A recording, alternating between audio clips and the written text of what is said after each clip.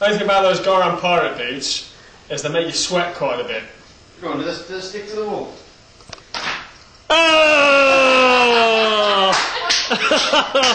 oh, that is disgusting.